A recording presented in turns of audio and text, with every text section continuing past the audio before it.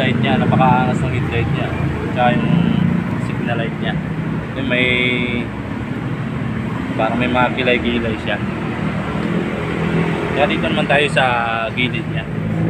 Yan guys, so napakaangas itong uh, poles na to. Ah, ang ganda niya.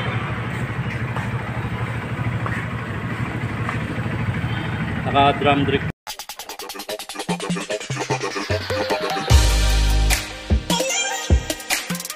Guys, ah, welcome to my another vlog. Ah, andito tayo ulit sa Rosie Kabuyaw.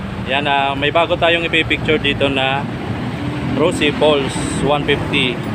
Ipay na to guys, ipay na. Tara, umpisa na natin. Yan, ah, dito natin umpisan sa headlight niya guys. Ito yung bagong labas ni Rosie na 150cc na scooter na Pulse FI na siya. Yan.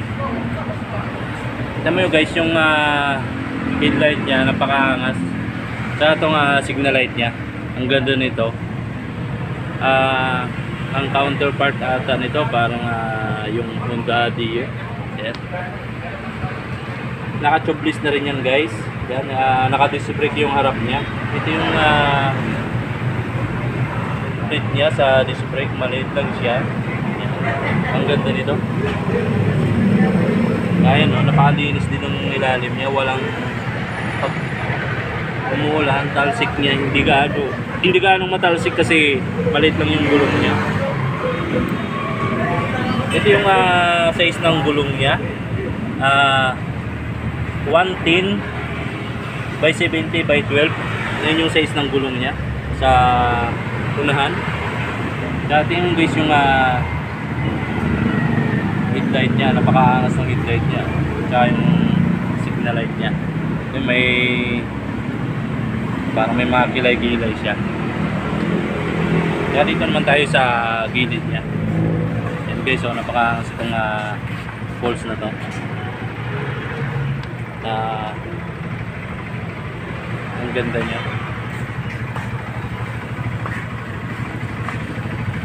Naka drum drip pa rin yung ah, likod niya. Tsaka ipoy na to guys. Naka LED na rin yung uh, light niya. Tsaka yung signal light. Ito yung uh, muffler niya. oh.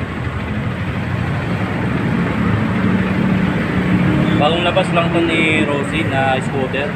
Tsaka ang kinaganda nito, ipay na siya guys. Tipid na sa gas. Siya. oh. Ang ganda nung ah, mga decals niya.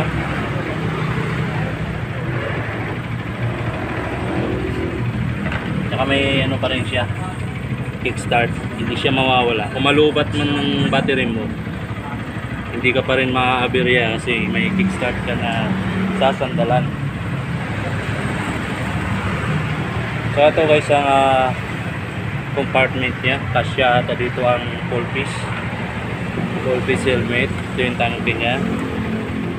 Ang laki rin yung compartment niya guys sa loob. Tsaka ito may ipitan ka na ng ah, mga papilis mo may nakakabit na na para ipitan ng mga kapit, ah, mga papel mo na mga importante. Yan. Tsaka ang laki ng ano niya compartment so. Tsaka yung ah, ano lang ah, ang kasan mo ang ganda rin tunog.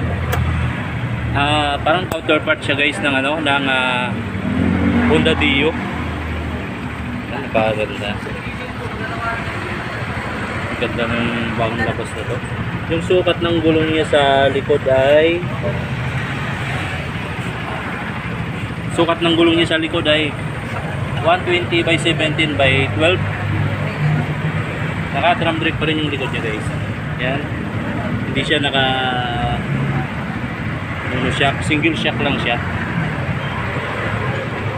Pero bagay na bagay ito parang easy easy lang yun. Kahit malayo yung ah, tatakbuhan mo. Yan may sabitan siya ng ah, kung mamamalingki ka meron ka rin sasabitan. Yan. Tsaka may packet siya. Dalawa lalim ng packet niya. Pwede mong lagayan ng cellphone. At tsaka may ano na rin to guys sa ayan oh, hindi lang ganong makita kasi madilim may charging USB na siya dito. Yan, kahit mag long drive ka, hindi, hindi ka malulubat kasi pwede ka na mag-charge yan. Ito, ah, may passing light siya, may hazard. Ang laki ng ano nito, ang ganda nitong advance na advance. Yan. Kita mo, may hazard siya, may passing light. Yan. Naka-digital din siya guys. Hindi ka nang makakita. Tsaka yung ah, logo niya guys, napakaangas silver. Napakaganda nito. Tsaka may ano na rin siya. Oh. Angas ng uh, headlight. Naka-LED na lahat yung ilaw niya guys. Yan nga. So ngayon guys, ah, yan lang yung ah, update natin sa Rosy Balls. Ah, FI. Yan ah. sa ngayon guys, ah, maraming maraming salamat. Ah. Shoutout nga pala sa mga yan, sa mga tauhan ni Rosy. Sa lahat ng staff ni Rosy Kabuyaw, ah, mega mega love shoutout sa inyo. Uh, si Sarah yun si Mamo. Sir, ah, salamat.